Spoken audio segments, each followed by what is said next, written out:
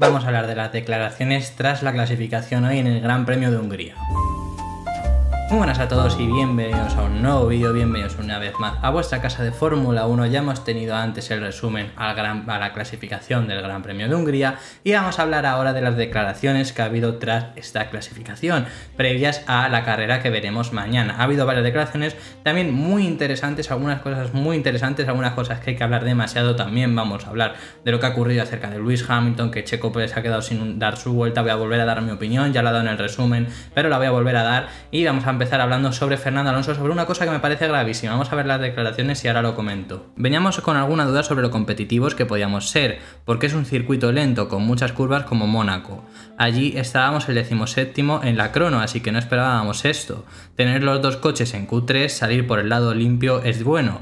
Era difícil, más que la pista. Tuvimos todo el fin de semana una inconsistencia alucinante con los neumáticos. Pones dos juegos idénticos y tienes dos coches completamente diferentes. Eso nos ha perjudicado en la Q3, porque me tocó un juego de los super buenos en Q2 y uno de los super malos en Q3, pero salgo con el set bueno, que es lo de la de Q2. Esto si no fuese solo una percepción de Fernando Alonso, la verdad que a lo mejor pasaría desapercibido porque podría ser solo una percepción de Fernando Alonso, pero me parece muy muy grave si no es así. Y es que también Max Verstappen se ha quejado durante la clasificación por la radio de que tenían inconsistencia, de que con unos neumáticos blandos se sentían diferente a los otros, que con unos neumáticos blandos sentía que tenía menos grip que con los otros neumáticos blandos, entonces se ha quejado también él por radio. Y esto me parece la verdad muy grave si llega a ser así, porque entonces depende del, del set de neumáticos que te toque, si te toca un set de neumáticos que es mejor que el otro, pues vas a salir mejor, por ejemplo, es lo que él ha dicho, ¿no? Por lo menos mañana saldrá con el set bueno, pero la verdad que en Q3 la ha perjudicado porque tenía el set malo. Si esto es de verdad sí, si esto resulta que hay algunos sets pese a que sean el mismo, el mismo, el mismo set de neumáticos, o sea, que sean los blandos, o que sean los medios, o que sean los duros,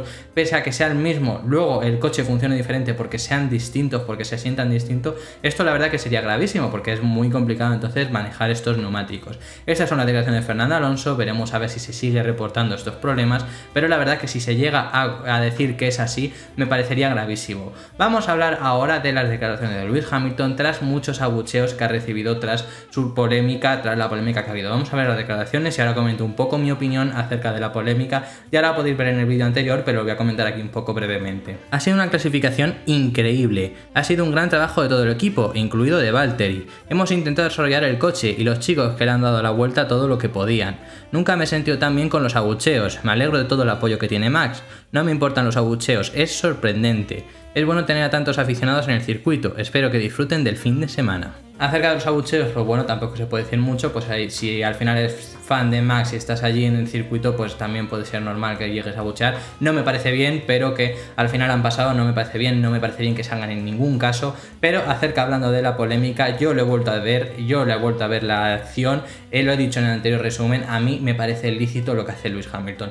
¿Que me parece ético? Puede ser que no, vale, obviamente no es lo que debía de hacer. Pero en la guerra en la que están ahora mismo Red Bull y Mercedes, que ya estalló completamente en el Gran Premio de Gran Bretaña, que al final pues ya es inevitable, hay una guerra también psicológica, entonces pues ha ganado Mercedes, ha ganado Mercedes, ha, ha a Max Verstappen y Checo Pérez, ha salido perjudicado sobre todo Checo Pérez, que ha salido súper cabreado, le ha dado golpes incluso al volante, ha salido, no ha podido dar vuelta, incluso a lo mejor incluso podía haber llegado a perder su cuarta posición, no lo ha hecho, Max Verstappen se ha quedado en tercera posición y Mercedes ha ganado y ya está, y no hay más que de qué hablar, no se puede hacer mucho más. Al final, si no querían que pasara esto, podían haberle pasado, veían que Lewis Hamilton iba muy atrasado y no hay nadie que te diga que no puedes pasar en la vuelta de salida ni siquiera en el pit lane. En el pit lane iba súper lento y se podía haber pasado y no lo han hecho.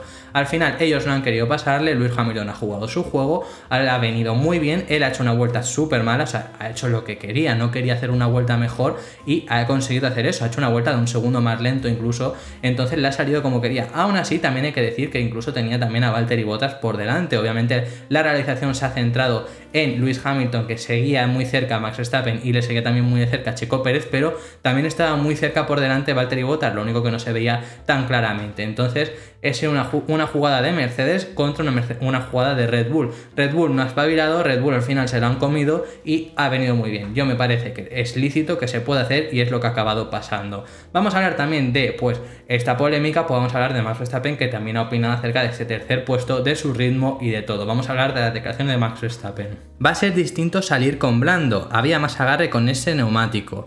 Va a hacer calor, pero nos brindará una buena oportunidad en la salida. Con el medio hubiera estado justo entre los 10 primeros.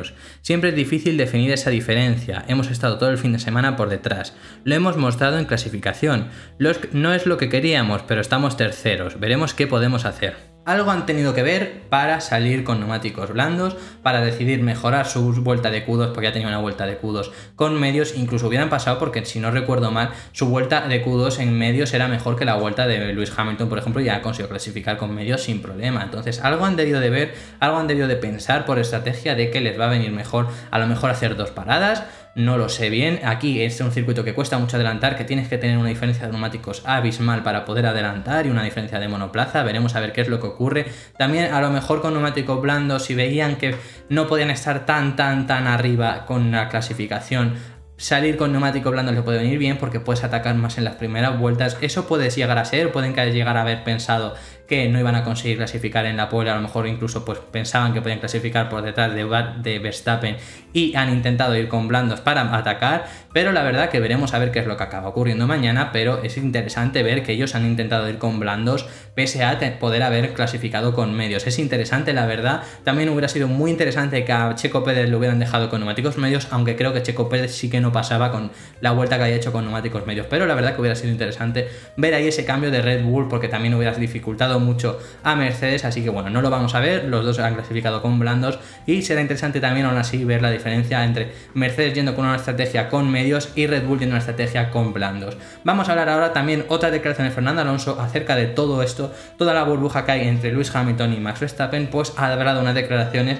que la verdad espero que no ocurra lo que ha dicho, pero vamos a ver las declaraciones de Fernando Alonso otra vez. Tenemos que tener cuidado porque por delante de nosotros, creo que cualquier cosa puede pasar mañana de nuevo. Tenemos a Max empezando con los neumáticos rojos, Luis con los amarillos, Checo, Gasly, detrás de ellos Norris y Leclerc, que son dos de los pilotos que mejor salida hacen.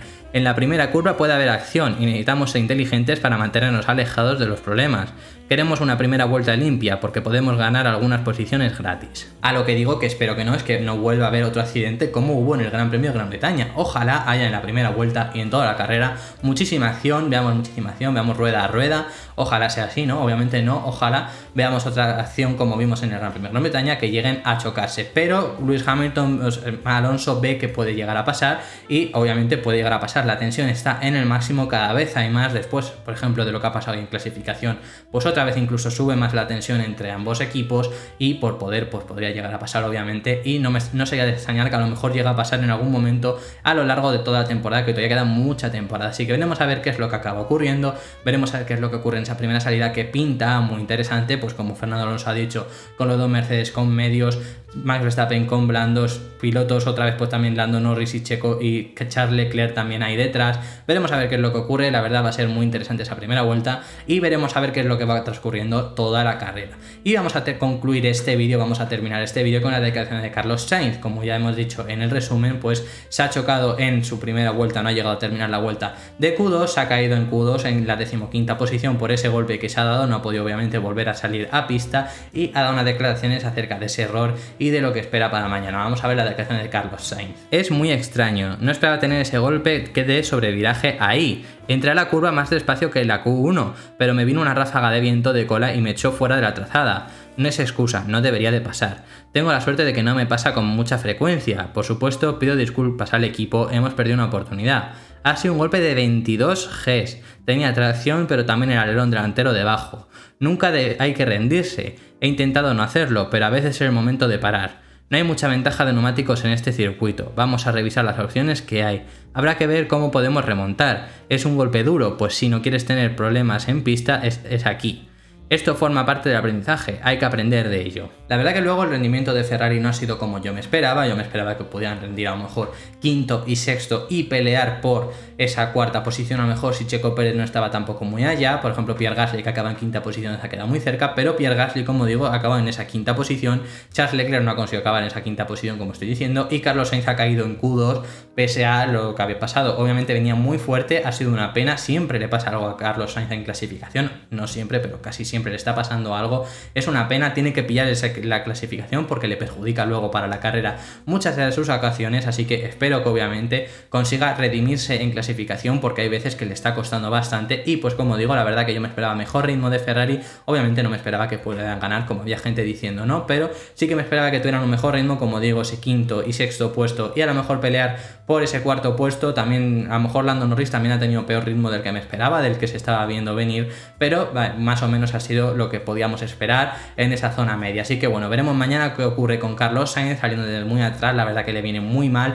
pese a que tenga diferencia de estrategia, le viene muy mal porque también tiene otros cuatro pilotos por delante que pueden elegir estrategia, incluidos Daniel Ricciardo, así que veremos qué es lo que ocurre mañana. Esto ha sido el vídeo de hoy, estas han sido todas las declaraciones que os traigo hoy, preparadas para el día de mañana. La verdad que se viene una carrera muy interesante, sobre todo como también ha dicho Fernando Alonso y como hemos dicho en esta vuelta, en este vídeo, la verdad que una primera curva muy impresionante. Veremos a ver qué es lo que ocurre mañana, dejadme en comentarios vosotros qué opináis acerca de también la polémica de Lewis Hamilton, que ha recibido muchos abucheos, si queréis que es lícito o no, que no es lo mismo que sea lícito a que sea éticamente correcto, como he dicho lícito a mí me parece que sí, éticamente correcto pues obviamente no, pero en una guerra en la que está ya explotada, obviamente pues es lo que tienes que hacer. Déjame en los comentarios vosotros qué opináis acerca de todo esto, que es la verdad que estoy bastante interesado por saber vuestra opinión. Muchas gracias por haber visto este video hasta el final y si os ha gustado pues ya sabéis que podéis darle un like y suscribiros y darle a la campanita para no perder más vídeos que a mí me ayuda muchísimo. Muchas gracias por haber visto este video hasta el final y nos vemos mañana en el próximo vídeo. Un saludo.